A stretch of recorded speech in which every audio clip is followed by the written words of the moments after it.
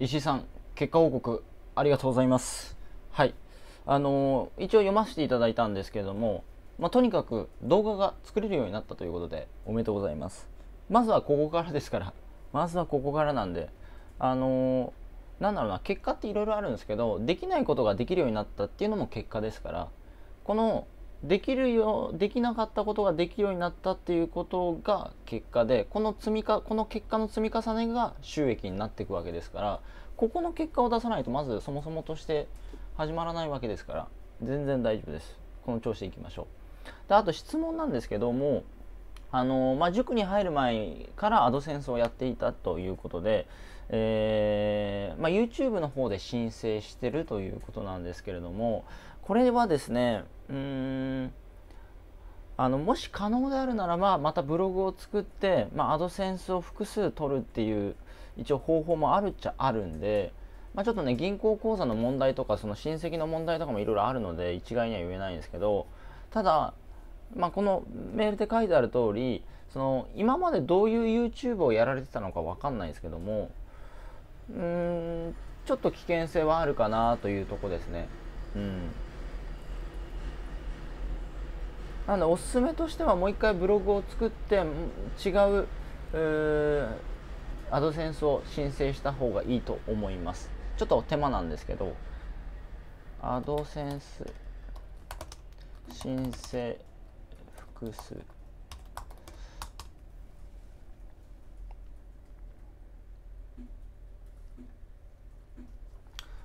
まあ、基本的にそのアドセンスっていうのは一つなんですけれども、まあ、一般的に言われるのが。だけどこれはまあ裏技的なのがあるんですね、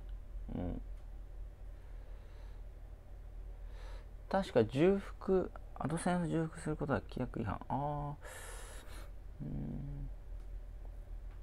うん。うんなるほどね。ああこれめんどくさいな。一応ですねあるっちゃあるんですけどその IP とかも変えないといけないんでちょっとめんどくさいかな。っていうとこですね。一応あるっちゃあるんですよ。でやってる人はいっぱいやってます。はい。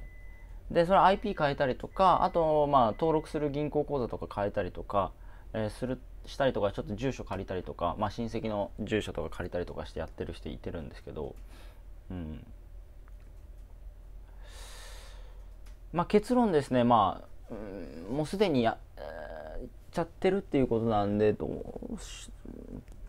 うんこれに対してはちょっと僕も難しい判断ですね。もうすでに申請が通っちゃってるわけですもんね。うん。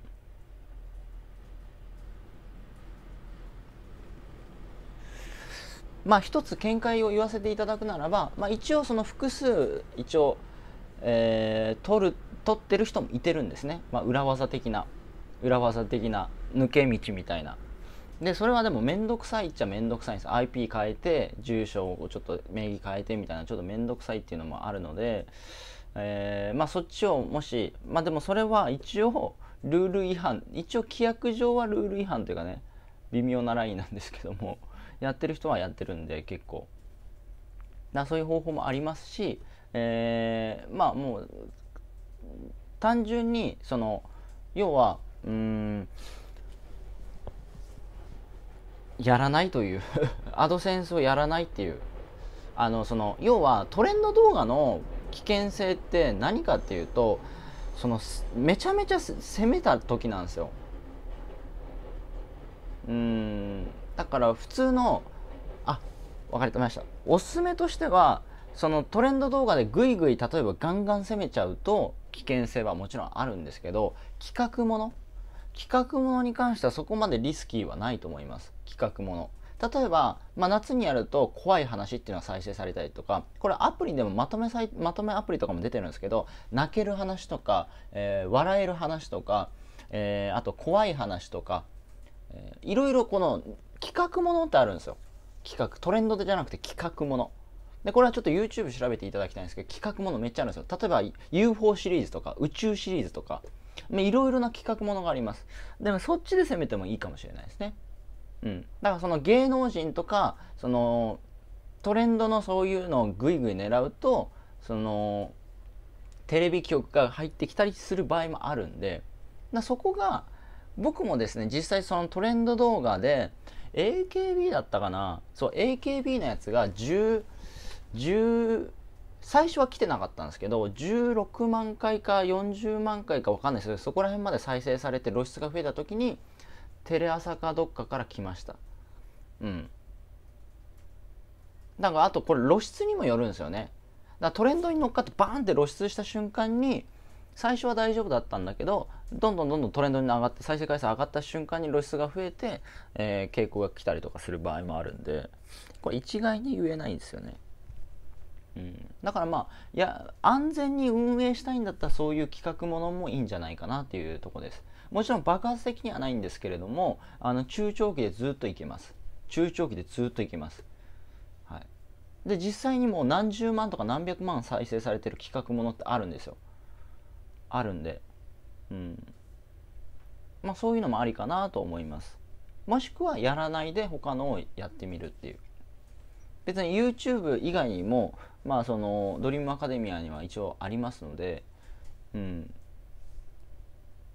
であとこれね最後に一つちょっとお伝えしておくんですけどもこの今の情報あるじゃないですか。いや今も抱えてる悩みあるじゃないですか。実はこれって価値ある情報なんですよ。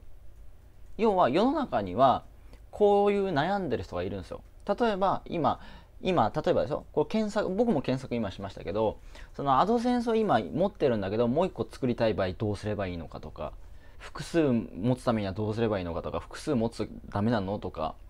そういうキーワードの検索キーワードの需要っていうのがあるんですね。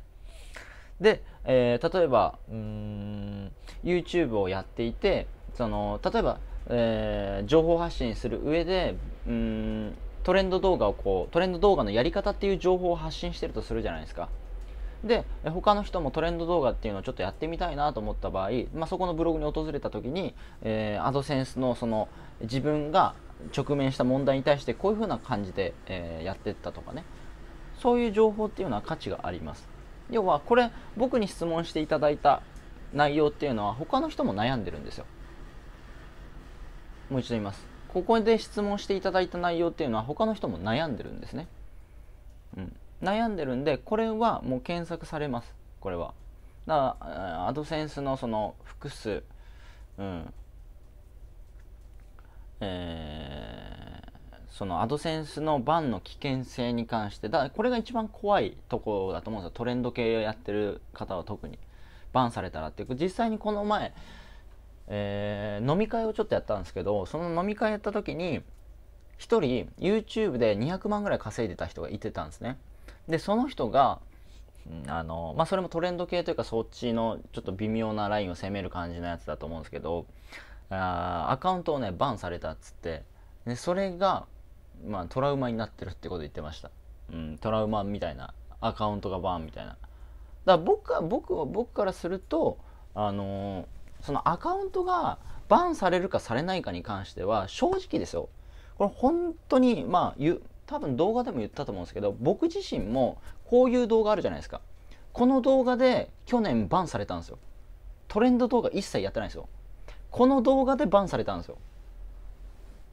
何が理由かよくわかんないですけどまあ昔その吉谷拓郎のメインチャンネルっていうのが昔あって昔そこでこういうことやってたんですけどそれ1000本以上あったやつがバンされました。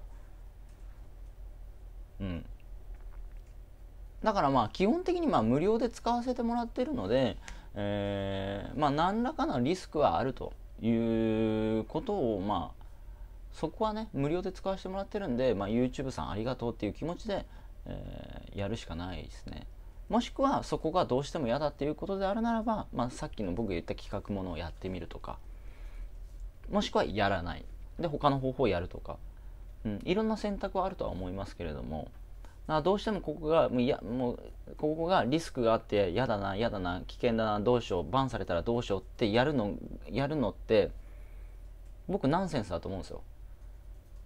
それを思いながらやるのってナンセンスだと思うんですよ。そこになんか精神的な負荷かかるのは僕はナンセンスかなと。だったら違うことやっても転売でも何でもいいんですけどやっていただいてもいいんじゃないかなと。まあ自己アフリエイトで資金作って転売やればノーリスクじゃないですか。資金を自己アフリエイトで作ってでその自己アフリエイトで作った資金を転売に回せばもう完全ノーリスクでできますよね。っていうやり方もありますし、うん。まあ、僕の見解はこんな感じです。はい。うん。ただこの質問はすごくいいですね。多分あの悩まれてる方他にもいると思いますので、まあ、情報まだ、情報発信っていうところまでまだ行ってないとは思うんですけど、この悩みっていうのは絶対情報発信した時行きますんで、ぜひ生かしてほしいなと。この経験がすごく生きますから、今度情報発信した時に。うん。はい。まあ、ぜひ頑張っていただきたいと思います。また、あの、わかんないこととかあればご質問ください。はい。えー、回答させていただきますので、はい、では今回は結果報告ありがとうございました